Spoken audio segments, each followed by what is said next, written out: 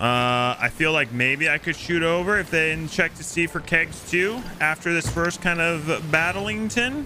Yeah, right there. Perfect. There's a guy in the water. He's got a keg.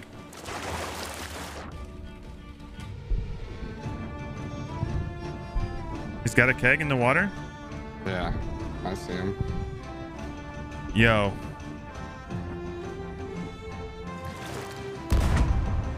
Got a hit rigged on it oh, my gosh, Neil, they're done.